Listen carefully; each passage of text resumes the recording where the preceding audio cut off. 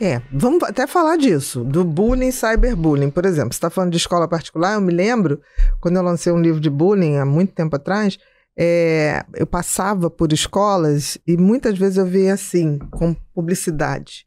Nossa escola não tem bullying. Eu falei, isso é mentira, porque toda escola tem. A questão é, nossa escola está batalhando, está se preparando para combater efetivamente o bullying. É diferente. Essa escola você bota seu filho. Agora, uma, um cartaz aqui não tem bullying, fuja dessa escola.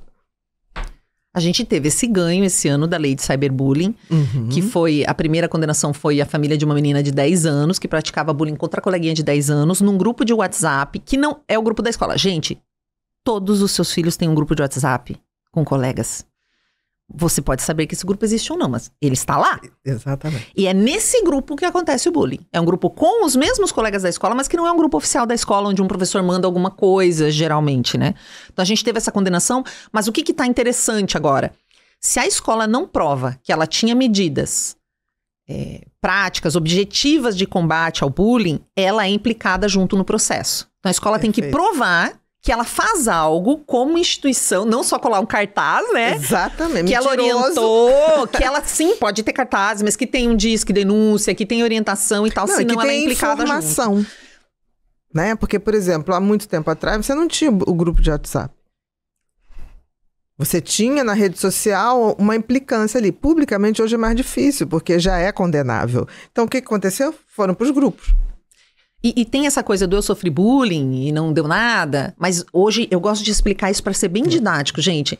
Beleza, você sofria bullying. A minha, minha irmã tinha uma menina que batia nela. Encasquetou. E a minha irmã era uma tapada, assim, tipo, ela não era uma. Eu é toda, é, sempre uhum. do teatro. A minha irmã era aquela pessoa assim, meio.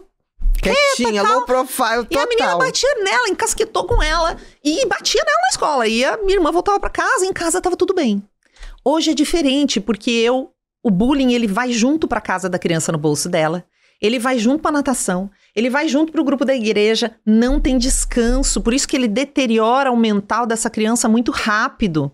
Muito rápido ela pode é, se automutilar, muito rápido ela pode entrar num processo de ansiedade totalmente diferente. Tipo, Exatamente. não tem descanso. Não tem o lugar onde o bullying acontece e o lugar onde ele não acontece. No cyberbullying ele vai.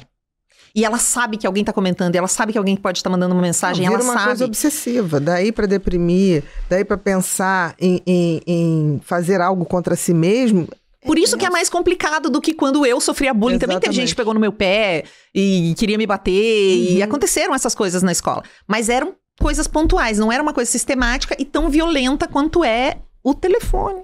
Com certeza. Os grupos. Principalmente os grupos. Os grupos, os grupos. Né?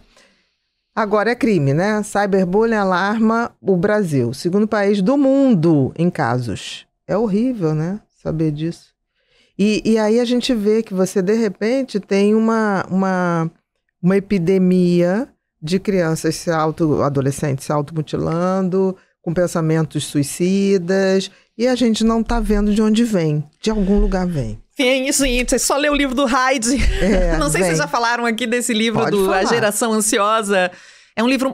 Tem três livros para mim que são. Gente, eu sou muito nerdinha nesse sentido. Tá? Eu nem gosto. Eu não gostaria de ser chamada de influenciadora. Eu uhum. sei que as pessoas uhum. chamam assim, mas para mim pode me chamar de pesquisadora que eu fico feliz. De educadora. Porque para mim, um influenciador deveria ser pesquisador em alguma coisa, né? Para influenciar pra passar bons conteúdos. Lógico. Sim, sim, então tem três lógica. livros muito bons. O primeiro que eu recomendo é um livro de um brasileiro que chama-se A Geração do Quarto. Professor Hugo Monteiro. Todo mundo perguntava para ele como eu faço para tirar meu filho do quarto. Ele falou: Vou conversar com as crianças para ver o que está acontecendo no quarto. Ele entrevistou mais de 3 mil crianças e adolescentes brasileiros.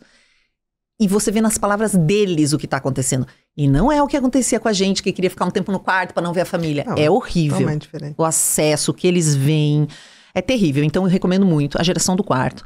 O novo livro que tá, bam, bam, bam, porque é muito bom mesmo, do, do Jonathan Hyde, que chama-se A Geração Ansiosa, onde ele vai comprovar com um monte de gráfico e pesquisa, e assim, é tanto que a gente vai ficar vesgo de tanto ver de gráfico, tanto ver. que o declínio da saúde mental de adolescentes tem a ver com o ano de 2010 ali, onde ele vai chamar de reprogramação da infância, quando entram os smartphones assim a valer na nossa vida. E que isso vai fazer uma, a, a, o aumento de índice de, de automutilação, de suicídio, de percepção de solidão, porque tem algumas pesquisas que perguntam todo ano para os alunos o quanto você se sente sozinho, o quanto você faz parte do grupo. Ele mostra todas essas pesquisas e mostra o quanto isso.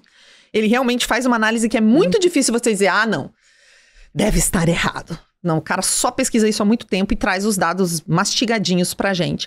E o outro livro, que é um pouco mais antigo, mas é tão bom quanto, do, eu chamo de Desmorguer, mas com certeza não é assim que fala o nome dele em francês, é o A Fábrica de Cretinos Digitais. Sim, sim, sim. Esqueci é. o primeiro nome dele. Então, com esses quem quiser saber mais sobre o assunto, eu recomendo é esses o básico. três. É o básico, mas se você quiser assim, putz, estou no Brasil, quero entender é, o do, do Geração do professor Humberto, sim, do, do Geração Ansiosa, é muito legal, porque assim, quando adolescentes nos ensinam a amar. Ao contrário do Desmurguet, que vai dizer fábrica de cretinos digitais, ele fica nervoso com essa coisa de chamar os adolescentes de cretinos, eu também fico. É porque eles são muito amorosos. A gente tem que confiar mais neles. Gente, eu ensino, eles aprendem. E são eu muito ensino frágeis, com... né? E eu, são muito frágeis. Eu falo com criança de seis anos, ela consegue entender o que é um criminoso digital, o que, que ela pode ou não pode fazer nas redes. A gente tem que dar um crédito, a gente trata eles como se eles não fossem capazes. E eles sabem reproduzir em massa muito mais do que a gente. Porque eles têm assim, necessidade de grupo. Muito mais do que a gente. A gente já chega a um ponto que a gente já começa a selecionar os grupos que a gente quer. O adolescente ele se abre para todos os grupos porque ele quer aprovação, ele está virando adulto, ele quer se socializar. Então, no que a gente planta neles, essa, esse conteúdo se expande muito mais rápido. E é impressionante. E eles querem saber. Quando eu mostro as coisas, vou lá com paciência. Falo, tá, mas e como é que eu sei então se a pessoa é a pessoa real um criminoso? E aí, nós não temos como saber. O que, que a gente vai ter que ter o cuidado sempre? Ai, Sheili, mas aí tem que desconfiar de todo mundo? Oi? Sim. 2024. Nós estamos numa né? praça. Numa praça. Presencialmente é uma criança a cada oito minutos violentada. Presencialmente. No online é incontável. Né, a quantidade de assédio. Na pesquisa Tiki Kids, 17% das crianças já relataram, que ficam online, já relataram algum tipo de desconforto com teor sexual de mensagens indesejadas. O que eu acho sempre que essas estatísticas estão sempre. É, abaixo. Muito abaixo. Mas muito abaixo. Porque, assim, a maioria não fala. A maioria não fala. Não fala, eles não têm coragem de falar, não têm coragem de falar, às vezes, para os cuidadores, né? A gente tem também uma questão de, de busca de conexão. Eu acho que nós estamos melhorando nisso. Uma, uma revisão de parentalidade estamos, aí. Eu acho que tem uma geração é, de adolescentes, de crianças que querem saber. A gente é que tem que se capacitar para falar a linguagem que eles entendam.